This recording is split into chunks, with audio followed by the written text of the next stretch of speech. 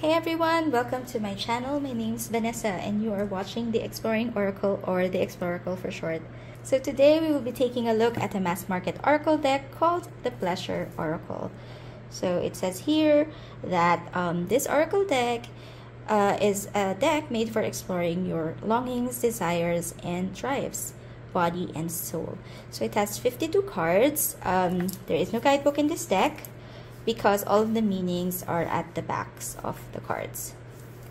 So it is published by Hardie Grant Books and I got this from Amazon so it is readily available. So the cards are in this box which you pull out like a drawer. Uh, it's not it's not a favorite. You can see that one of the cards caught earlier. But I guess it does its job. It's quite sturdy. So it's just a plain uh, there's no print on the inside of the box. It's nice little, nice little pink color at the backs. And you already have the cards. So again, there is no guidebook. You do have these three extra cards about the author, how to use the Pleasure Oracle, and a welcome. Welcome message from uh, the creator. Okay, and then these are the cards. So they do feel a little bit like a standard tarot size. Let me compare it with my Nicoletta, which I, I usually say is a standard tarot, but again, it's actually narrower. So I do think that the Pleasure Oracle is actually a lot more standard tarot size. Um, so the way this deck is laid out is you have this these images at the back, and then you have the messages at the other side of the cards. Okay. So I'll be flipping through more on the art and then later on when we um, when we do the sample reading, I'll shuffle it and pick a card and then we'll just read the other side or I'll just show you the other side. All right, so let me, uh, so I zoomed in so we can take a closer look at the art.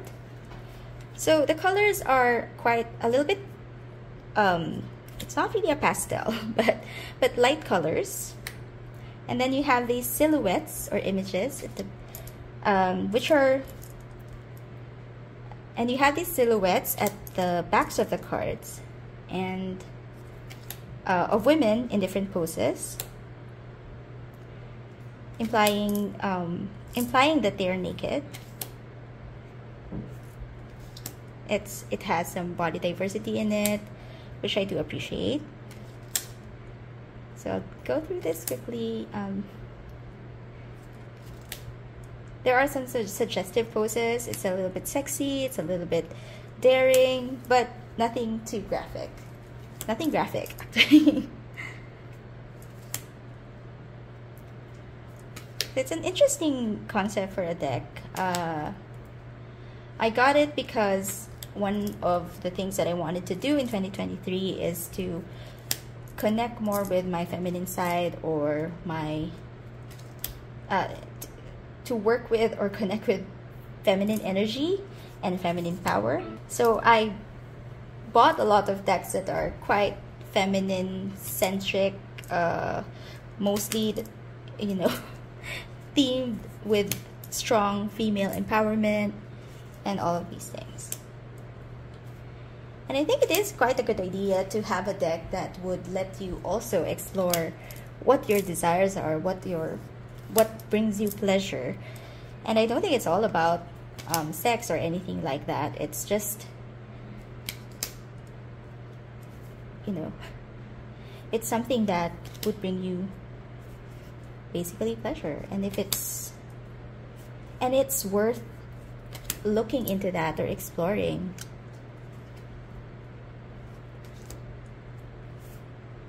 I do, I am very, um, I am quite attracted to the figures or to the art at the back of the deck.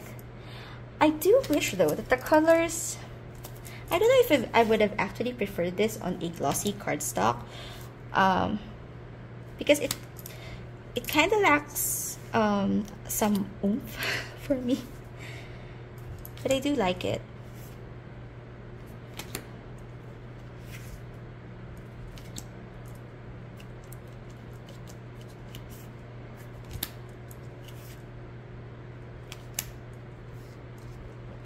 Okay.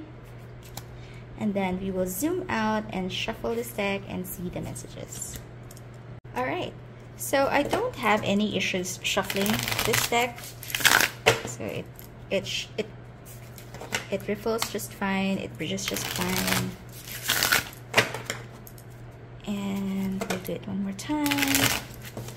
And then we'll do an overhand and see if a card wants to be read, which that part does want to be read. So no issues. It doesn't stick. It doesn't clump.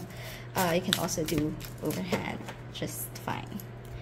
Okay, and uh, before we read the message on this card, this is the card that wants to be read, I just want to show you what it looks like at the back. So, I don't know, is it just me, but I do find that I wish it's a little bit more centered. I don't really get why there's that star at the side and it just makes you know it makes the text seem out of I don't know uncentered or something so I'll just give you a quick uh, flip through of all of these keywords if you, if you can read them fast um, but yeah and then we'll focus on the card that jumped out so that we see how the messages read. Okay, so the key word is love revolution. So it says here, shame, guilt, and victimhood create powerlessness. But when we're in a dark place, courting anything else feels like a denial of our pain. It's true that we need to find, it's true that we need to feel our despair in order to heal from it, but embracing wonder and joy is not a denial, it's our way through it. So the action, so it, it does have that uh, message and then an action. So something that you can do. So uh, something that you can do to address uh, the message. So love is a strength, love is resilience. Love doesn't love doesn't shout, it whispers. And yet, it's a its force is so powerful that only it can wake you from a life that feels like a bad dream. Integrate your anger, accept your hurt, but don't identify with it. For only love can set us free. See if you can counter the fearful thoughts you notice having. The fearful thoughts you notice having with a ridiculously loving thought. So that's that's actually how each of the cards uh, go. So you can pause if uh, if you want to read. And to be honest, I like the art. I like the I like the concept. There are some cards here that resonate with me, but overall, I'm not sure if this is a deck that I'm going to be keeping.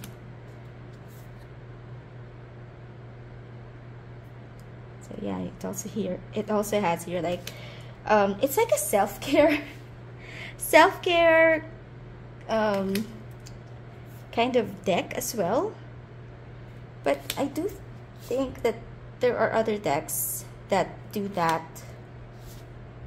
better.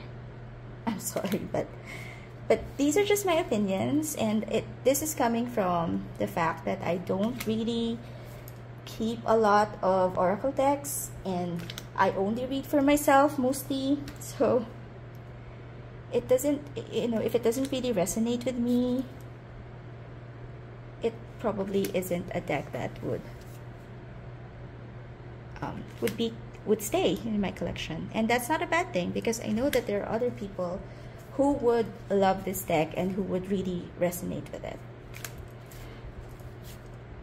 So yeah. So that has been the so that has been the pleasure oracle. If you are interested i got this from amazon so it is accessible. Um, don't if you like the video please don't forget to click on the like button and consider subscribing to my channel. I post videos like this at least once a week. See you again next time.